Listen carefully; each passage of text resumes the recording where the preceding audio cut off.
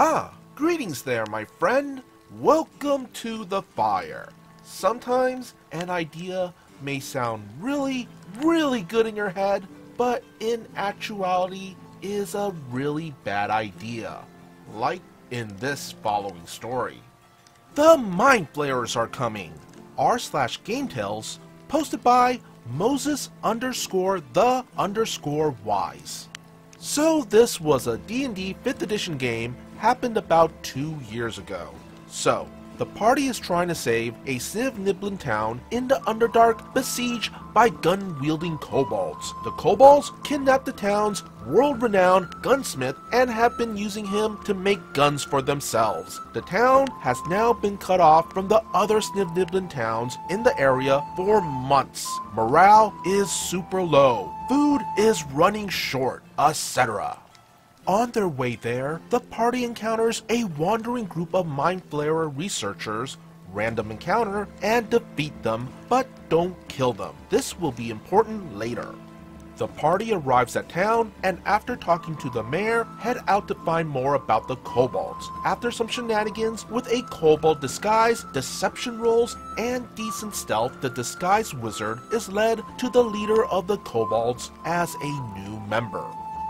Wizard walks right into a trap with friends behind and is attacked by a black dragon. Dragon's turn uses frightful presence and everyone but the wizard fails, all frightened. The wizard ironically panics and teleports away with the rogue. The rest of the party beat a hasty retreat back to town, ready for the dragon to follow them. They return to town and muster the troops, getting them ready for the dragon. The townsfolk are weary and upset, but steel their nerves and prepare for the dragon. Meanwhile, the gnome alchemist had a great idea. He asked the wizard to cast sending to the mind flayers they fought the other day to ask them for help.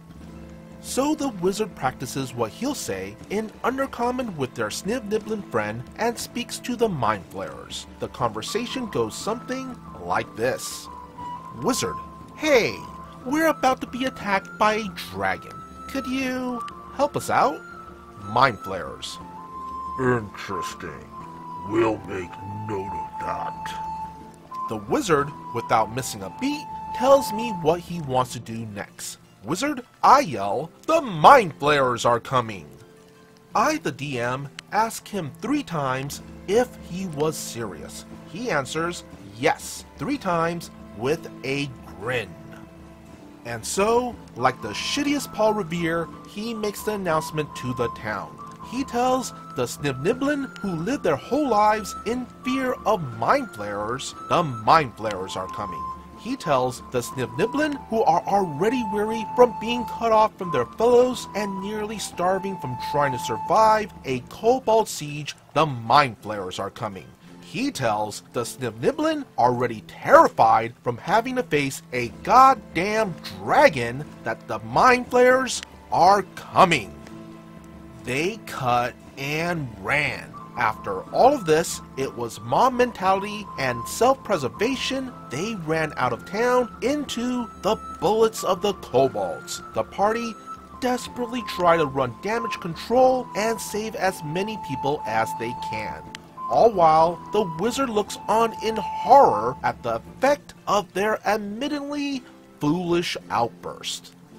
The dragon never bothered to show up the party had already done his work for him.